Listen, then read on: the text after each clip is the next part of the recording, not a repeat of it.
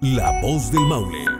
Bueno, ya retomamos y seguimos hablando de tantos temas de contingencia en nuestra región, en nuestra capital acá en Talca de distintas situaciones, pero primero le vamos a dar la bienvenida a la Seremi de Salud que nos acompaña esta mañana eh, para poder saludarla junto a la Seremi Gloria Casa. ¿Cómo está, Seremi? Buenos días. Muy buenos días, muchas gracias por este espacio, siempre importante, ¿no es cierto? Los temas de salud, hay, muchos temas, así que feliz de estar acá. Por supuesto, Seremi. Y bueno, vamos a partir rápidamente con eh, esta fiscalización, la clausura de temporal de un supermercado acá en Talca debido a, que había productos vencidos y también roedores. Preocupación por la ciudadanía, eh, la importancia y el hecho de, fiscalizar estos lugares.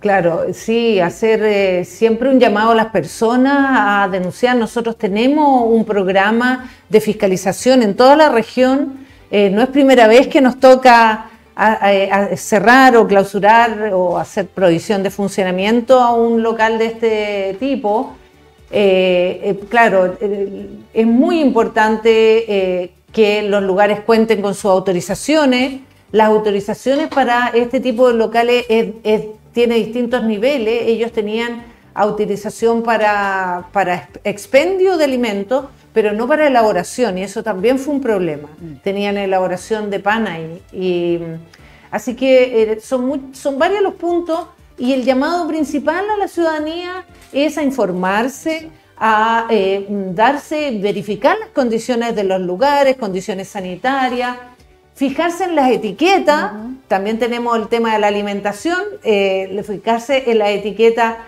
eh, estoy pensando en el vencimiento y, que, y en la refrigeración de estos productos. Entonces, normalmente es muy importante lo que eh, las personas nos denuncian y gracias a eso nosotros podemos tener mayor cobertura eh, para ampliar por sobre nuestras fiscalizaciones regulares.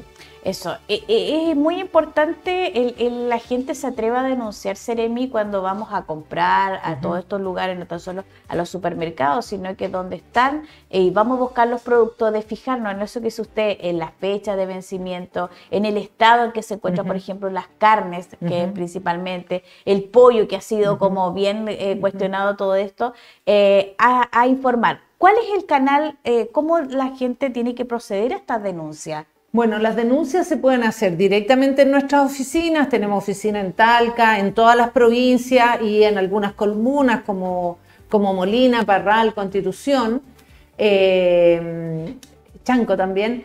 Eh, sin embargo, hay una manera fácil y directa eh, que es a través de la OIRS del Ministerio de Salud y, y te derivan, las denuncias pueden ser anónimas Todas esas denuncias, nosotros, nuestra oficina de OIRS, que no es cierto, es de información y reclamo, em, están, eh, se centralizan y ellos derivan a, los, a donde corresponda.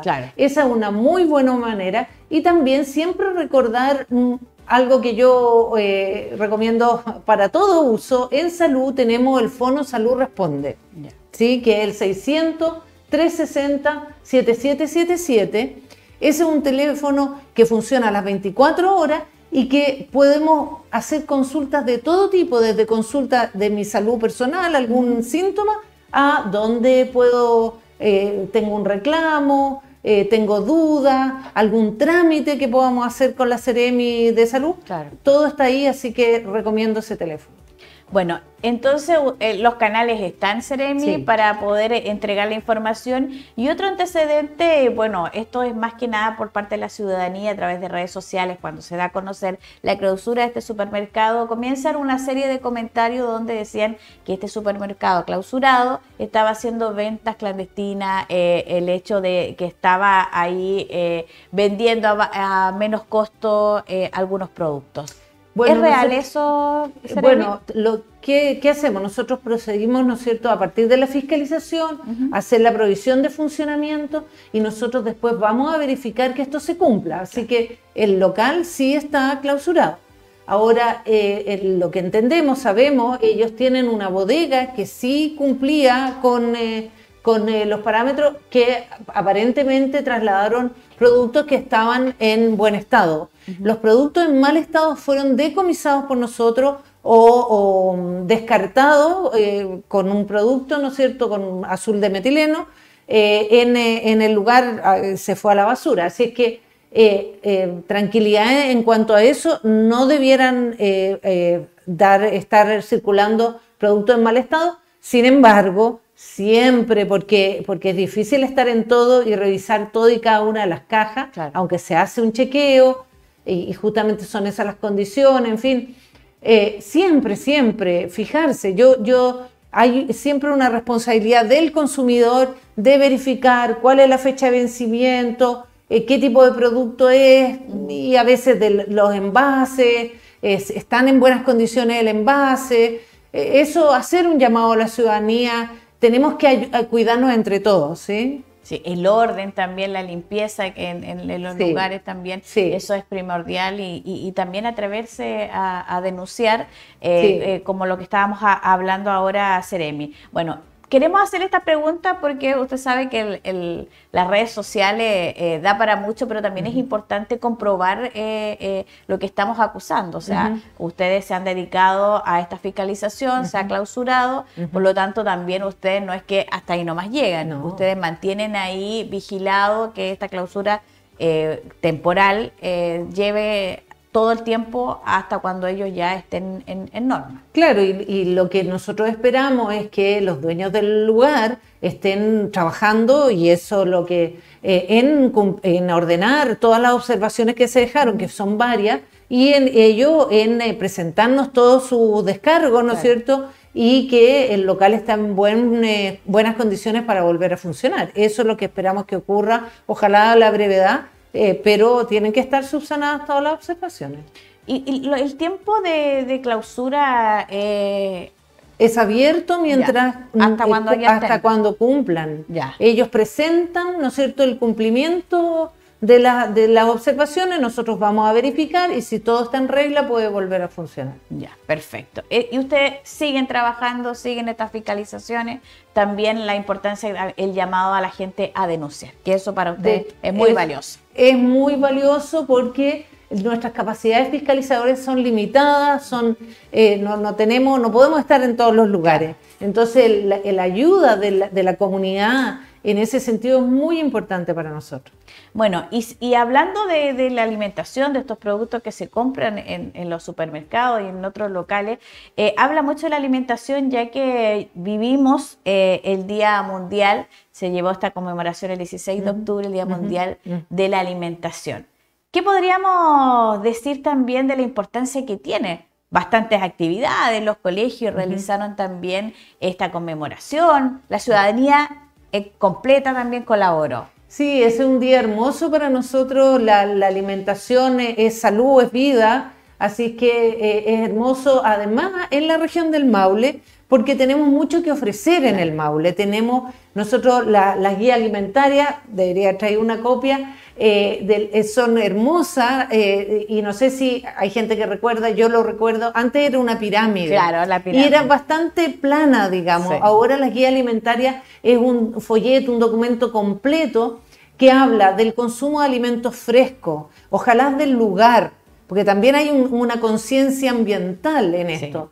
Em, y, y, eso tenemos muchísimo en el Maule, del consumo de agua, muy importante, y de bajar, por supuesto, el consumo de los alimentos altos en, ¿no es cierto? Nosotros tenemos nuestro etiquetado nutricional, que es un orgullo para nuestro país, esa política pública, que nos guía sobre qué alimentos ojalá bajar el consumo o no, no consumir del todo, claro. Eh, que son los alimentos altos en.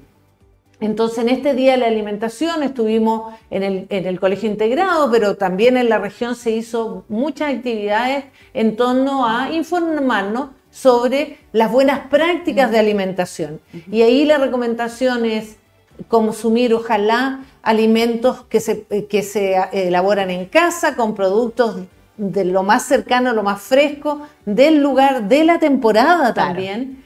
Eh, y, bajar el consumo de alimentos procesados al máximo posible. Eh, así que, y sabemos que es algo que nos cuesta, eh, es difícil para, para, las personas tomarse el tiempo de elaborar productos, los platos, ¿no es cierto?, de comida mm. antiguos que hacían nuestros, nuestros madres, padres, nuestras abuelas. han ido en retroceso, pero hay que reivindicarlo porque es lo más sano. Claro que sí. Y aparte que en la semana todos vivimos este estrés de comer rápido, de comer algo rápido, o muchas familias que llegan a las casas a cocinar para que los niños alcancen a almorzar, luego volver a los, a los trabajos. Eh, es una, es un, un día a día muy rápido también. Y yo siento que se ha ido aprendiendo, pero nos falta mucho más. No, nos falta, nos falta, es un esfuerzo mundial que se hace por mejorar las condiciones de la alimentación de las personas de la población. Eh, y como decía al principio, el Maule tenemos muchas ventajas, entonces aprovechemos nuestras ferias libres del barrio, el CREA aquí en Talca, ¿no es cierto? Las distintas ferias que hay provinciales eh, son un patrimonio, fíjate, de alimentación, así que cuidemos, cuidemos esos espacios que son muy valiosos. Y los huertos también, Ceremi, que hoy en día todo el mundo tiene huertos, hasta en los departamentos existen los huertos que uno puede también disfrutar. Ideal, la frescura de los alimentos sacados de la mata no tiene parangón, ¿no? De la, la eh, el, sabor. el gusto, el sabor es muy, muy agradable. Bueno, y también acompañado de eh, lavar bien los alimentos también, porque de repente decimos, no, es que son de, acá, no tienen ningún químico, pero también tenemos que tener ojo con eso. Sí, también eso, la higiene de los alimentos, el de la producción de alimentos también, y ahí acordarse de otra, de otra medida que es muy básica, que yo la pongo así, tomar agua muy importante. Y la otra muy importante, lavado de manos.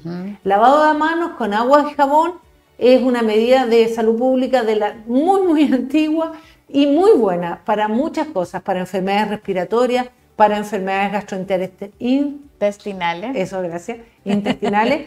Eh, muy importante, muy... Y entonces siempre no, no mezclar los alimentos crudos con los alimentos que ya están cocidos, en fin, ahí también hacer una higiene en la preparación es importante.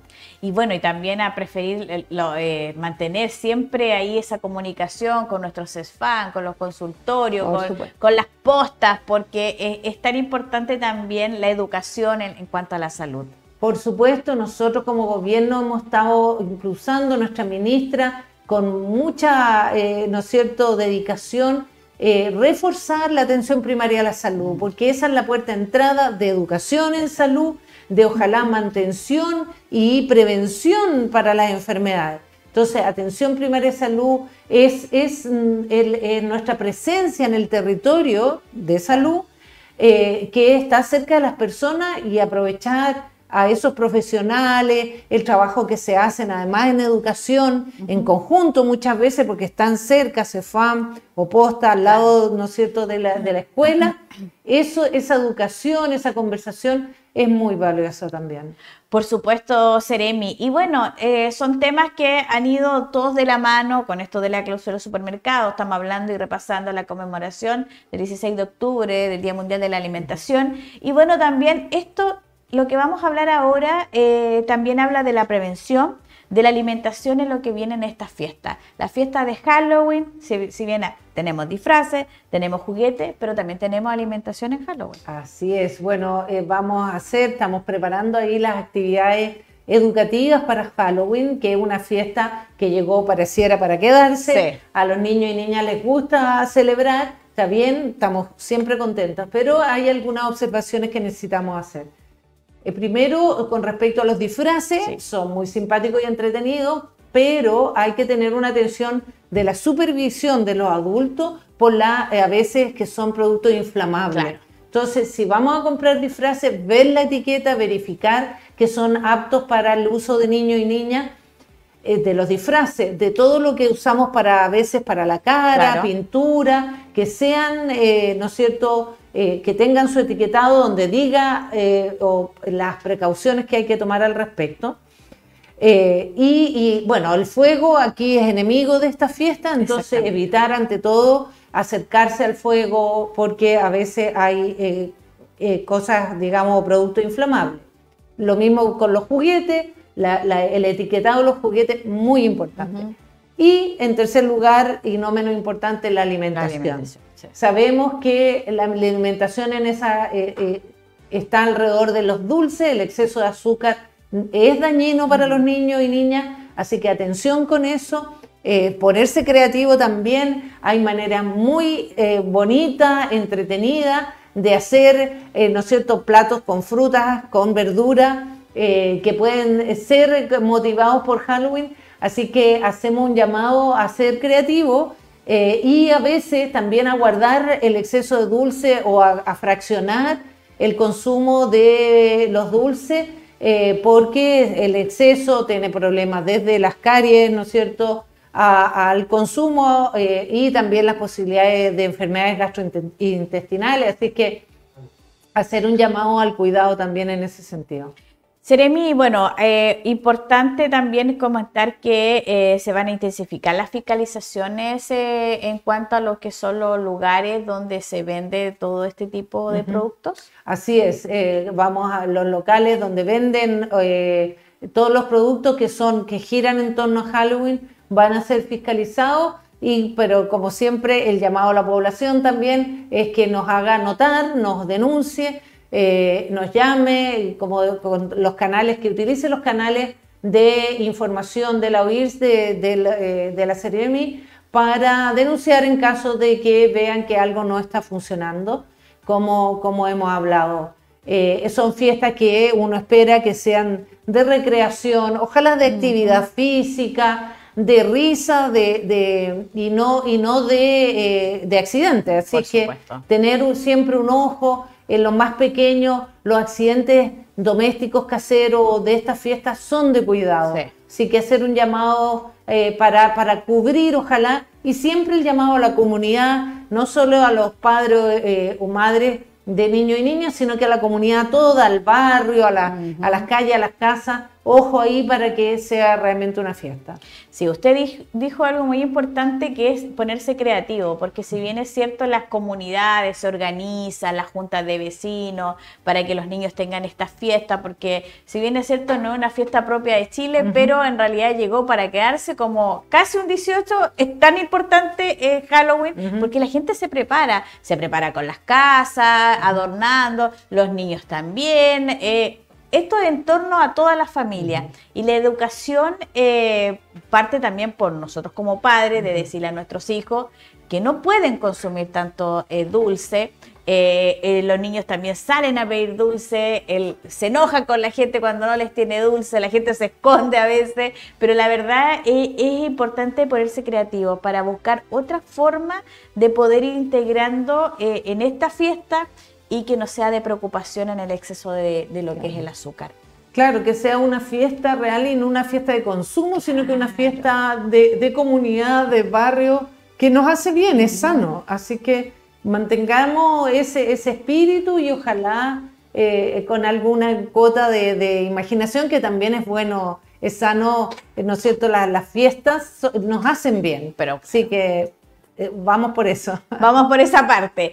Seremi, y por último, preguntarle referente a lo que son estas fiscalizaciones y qué pasa con el comercio ambulante también, que eh, es preocupante porque también lo vemos, sabemos que la situación económica no es la mejor y uno opta a veces por lo más barato o lo más rápido, pero también ahí hay parte de fiscalización del comercio. Bueno, ahí, claro, eso no nos corresponde a nosotros porque el comercio no autorizado eh, depende, ¿no es cierto?, de, eh, servicio de impuesto interno, eh, y las policías.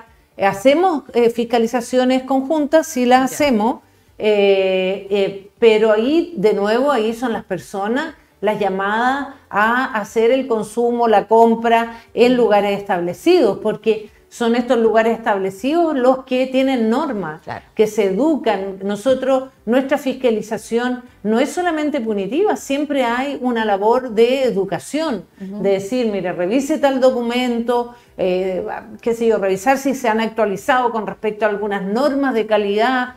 En fin, es un trabajo conjunto que hacemos con los establecimientos que tienen eh, su autorización sanitaria.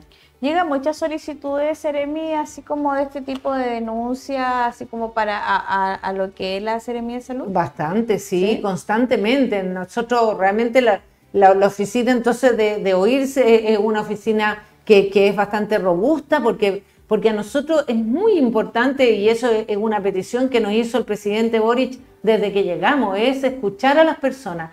Entonces, eh, eh, para nosotros es gravitante lo que pasa en la OIRS, lo que llega a la OIRS. Y el, siempre damos cumplimiento a o una respuesta o una fiscalización o una derivación también de, a otro organismo, al organismo competente. Es una manera, ¿no es cierto?, de gestionar todo lo que es la administración pública para que las personas sientan, se sientan escuchadas eh, y, esa es nuestra labor que hacemos con, mucha dedicación eh, e interés eh, porque es lo que a las personas les importa.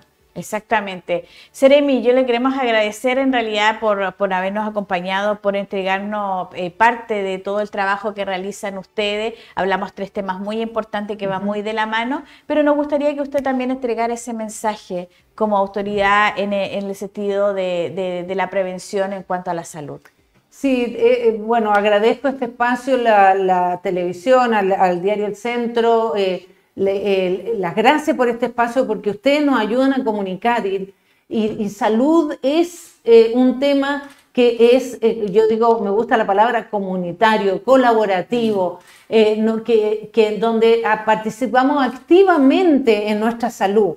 Y la, y la salud depende, hay grados de responsabilidad en las personas, pero también depende de lo que pasa en un hogar, en un barrio, en una escuela, en el trabajo. Entonces, todos tenemos que estar pendientes y viendo cómo ayudo yo a, la salud. Y la salud es física y mental. Entonces nosotros hablamos del concepto de ciudades, barrios, entorno saludable. Entonces, ¿cómo hacer nuestro entorno saludable? ¿Cómo hacer que la fiesta de Halloween sea con un concepto o un mensaje saludable?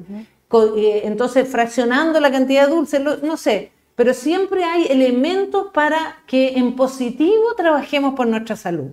¿sí? Eh, para evitar la enfermedad. A veces sabemos más de enfermedad que de salud y nosotros tenemos que trabajar en la promoción de la salud. Y la promoción de la salud es que mi decisión sea la saludable, mi decisión más fácil sea la saludable. Por ejemplo, tomar agua versus a bebidas, digamos, eh, que son edulcoradas, que tienen una serie de elementos. Que el agua sea accesible es muy importante para nosotros. Entonces ahí todos tenemos que cooperar en comunidad se crece, eh, se, se, avanza, eh, nos, nos, hace bien a todos y todas. Exactamente. Muchas gracias, gracias. Seremi. El centro de